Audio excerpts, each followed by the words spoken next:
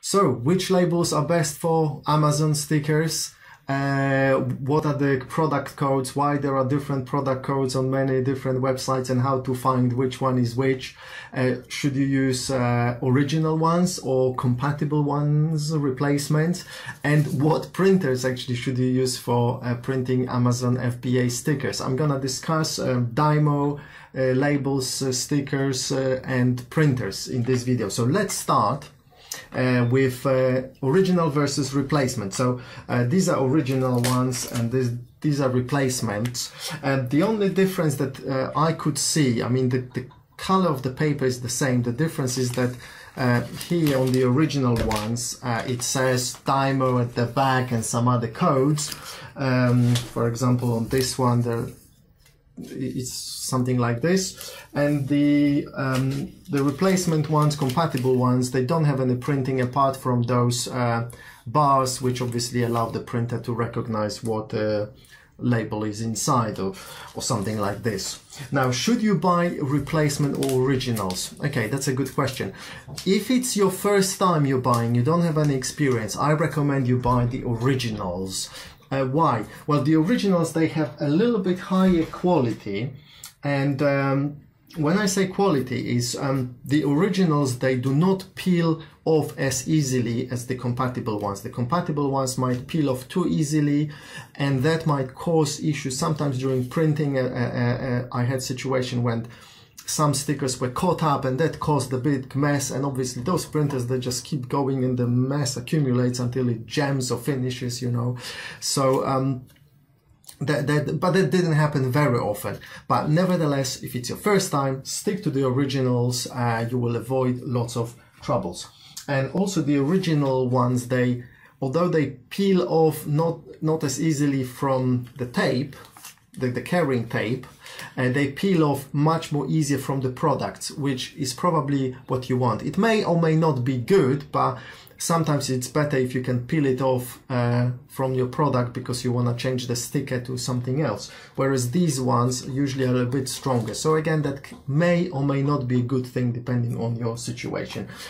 Quality wise, I didn't notice any quality in the printing uh, differences. I mean, quality differences in the printing on the compatible ones or the original ones. So Nothing wrong with buying uh, compatible ones, uh, but stick to the originals if you can. The price difference usually is not that much, especially if you don't print a lot. It makes sense to, to buy the original ones. Okay, so what uh, labels do I use? I use uh, mainly uh, four sizes, however, two predominantly. Uh, my main sizes is um, this one, which is 32 uh, millimeters by 57. I'm gonna show you on the screen in a moment. And the big shipping label, uh, which is 6 by 4 inches or 154 by 104 millimeters. And I also use um, smaller ones, uh, 11 uh, 355 and uh, 11 3 let me see let me see 356 and also uh, let me actually show you I'm gonna show you uh, here where is it? Here. So mainly I use 11354 these are the main ones I use so these are these uh, for uh, product uh, stickers and also the shipping labels the big ones which is this one is uh, the big ones, the biggest ones, 1744907. By the way, to print these ones, you need a label writer 4XL, the largest one. Only the largest one can print uh, the, the biggest ones. Um, the other ones that I used are uh, 355 so 11355 as you can see and also 11356 uh, which are a bit bigger. Uh, so these are uh, those a little bit bigger if I need a bigger product. And then uh, the tiniest ones 11355 uh, these are the smallest ones. And then in between uh, we've got 11352 I believe. So let's have a look um, on Amazon store. By the way the links to all the products I'm talking about are in the description below this video. So all the labels, all the printers you will find the links to both amazon uk and us underneath the video. Please use my links. I will get a bit of a kickback from amazon so that will be very generous of you. Thank you for for doing that. So uh, let's have a look at this one. So as you can see it's a 19 by 51 millimeters or three quarters of an inch by two inches and um, the code is here you can see 30330 but also okay this is Amazon UK uh, that's the one the smallest ones. Let me see 19 by 51 yeah 19 by 51 11355 or this other code S07225550 now as you can see there are three different codes. Those two here uh, and also this one 3330 usually these codes are more popular in the US than in the UK but you can find them in both countries now I haven't managed to um, to find a place where which would have a comprehensive table with all those codes together. So unfortunately, that's a lot of guesswork and look not guesswork actually looking for details. And um, one place where you can find some information is um, um, uh, Dymos program, the software that comes with the printer. You you have the all the labels here. If you click on this thing, it will show you uh, code. So this is one code. By the way, there are two versions: durable and standard versions. So some uh, some labels come uh, in uh, as oh holiday. That's a special version with some add-ons. You probably don't want them. So adhesive is the standard version. And uh, you've got oh two codes in this case, uh, yeah, the SKU um, and in other cases here you've got only one SKU um, let me find the one with, uh, again, durable. This is adhesive standard. Uh, okay, adhesive, adhesive. Oh, I'm sure oh this one is durable. So sometimes you've got two versions sometimes there is one. So you've got sizes here in inches unfortunately uh, but there are ways around this so at least you can find some information here. And then you can go to uh, Dymos website. By the way, if you click on the link, uh, where's the link? Uh, this one, buy, it will take you to Dymos website. And then you can find those stickers and maybe click on view details and it will show you. So this is a durable one uh, probably they don't even have it in a standard version, I don't know. And then you can find some extra information about this. Sometimes they give you the, the extra codes or like SKU here.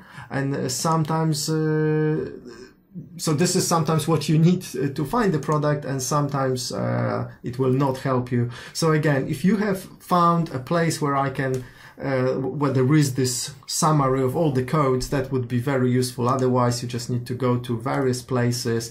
Maybe some other stores like this store shows you uh, this code and also this code. So two codes but not the third one. So it's a bit of a hit and miss and and I don't like that. But what can you do?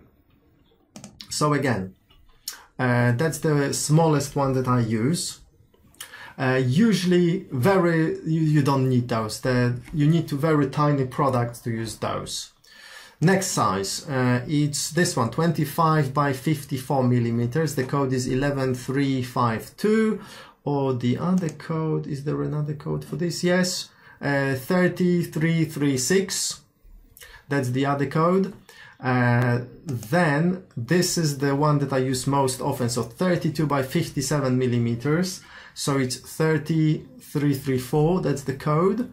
And also the other code is 11354 or S0722540. So these are the two um, two codes. Uh, these are the most popular labels. Now, what's special about these labels? This is probably the smallest one that allows you um, to print in a fairly good quality if you uh, in, a, in a standard quality. If you make the labels any smaller than this one so if you use the previous two that I showed you uh, you will actually uh, you need to set the quality to the highest possible otherwise it that the bars might be a bit blurry. So the next one is 11356 that's the bigger one uh, sometimes useful uh, not often as these ones are good enough and again the other code so 11356 or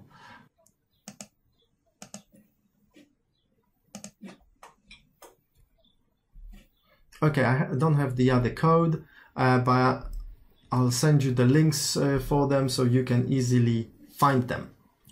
The last ones are the shipping labels so the biggest ones. Uh, these are uh, as you can see the code is either this one S0904980 or uh, it is also um, let me find it. It is also this one 1744907